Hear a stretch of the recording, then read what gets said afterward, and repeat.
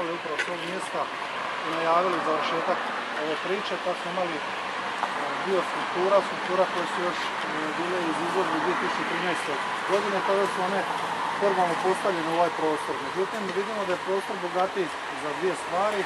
Prije svega to je ova ploča koja će napokon građanima reći o čemu je točno riječ. Bilo je dosta upita, dosta interesa što je to točno, kakve su ovo skulpture, koji ih je napravio. Imamo još jednu skulpturu koja je biti bila želja Vinkovčana, koja je ova dolje koja postavljena. Vidimo da je riječ o pticama također koje su povezane sa nekakvim šipkama. Te šipke u pravilu predstavljaju naš taj jedan spomenik, spomenik ljubavi, gdje će Vinkovčani poput svih ostalih građana većih grada u Europi može zaključati svoj nekakav lokot ljubavi i baciti ključić u rijeku koja je ovdje. Tako da evo, još jednom želim se na ovakav način zahvaliti i gospođi Merhardini, prije svega što je posjetila nas ponovno u Vinkovcima, e, što je sinoć i održala u okviru Matice prezentaciju svega ono gdje smo vidjeli da su te skulpture postavljene diljem, diljem svijeta.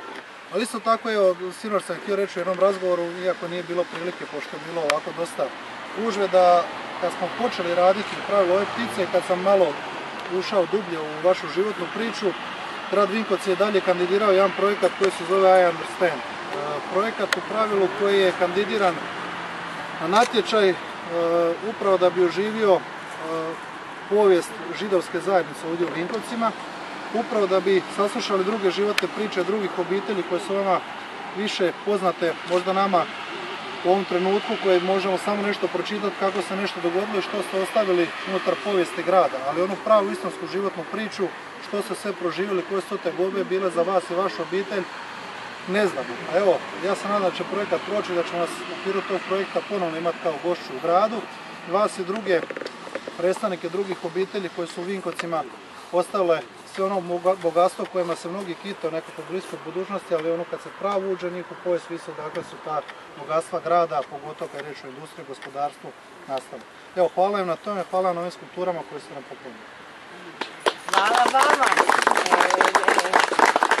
Samo da kažem hvala prvo svima koji su tu i koji su jučer bili na prezentaciji i ja, ja se jako radujem i jako ponosna sam da, e, da je grad Vinkovce gdje sam se ja rodila prije 80 godina, e, da su e, napravili taj, da su realizirali taj san moj, da, da se ovaj, moja obitelj, da, se, da zna ko su bili i da se, da se ih memori, memorija, da se, da se ih da, da, pamti, da, da se i pamti, da, hvala lepo.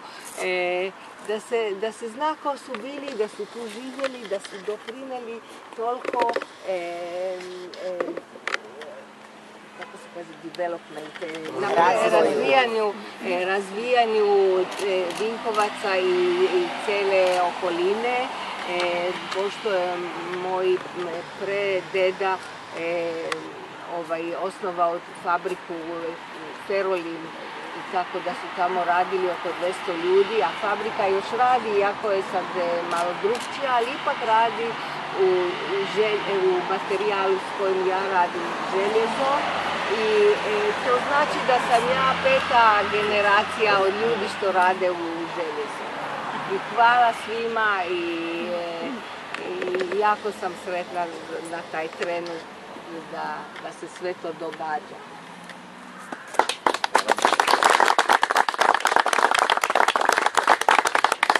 Evo ja ću kratko samo sve pozdraviti sa par riječi danas obzirom da je i dan grada Vinkovaca i da je zapravo ovo jedna izuzetna prilika evo, da obogatimo i proslavu dana grada upravo otvorenjem ove izuzetne izložbe, posebne izložbe koje imamo u Vinkovcima. S radošću želim još jedan pozdraviti našu umjetnicu, gospođu Dinu Merkavi, njenu obitelj, ali naravno želim pozdraviti gospodina Ognjena Krausa, predsjednika e, židovske zajednice u Republici Hrvatskoj, suprugom koji je ovdje u Vinkovcima. Drago nam je da je s nama danas na dan grada, evo i da e, stvarno e, na neki način zaokružimo ovo obilježavanje Dana grada Vinkovaca sa otvorenjem ove posebne izložbe. Mi smo jučer promovirali novi turistički vodič grada Vinkovaca u kojem je i ova izložba odnosno ove skulpture, tako da svako onaj ko bude došao u Vinkovce imat će mogućnost evo i u vodiču, zapravo još dok ne bude u Vinkovcima vidjeti e, jednu izuzetnu i posebnu e, izložbu i vrijednost koju ima grad Vinkovci.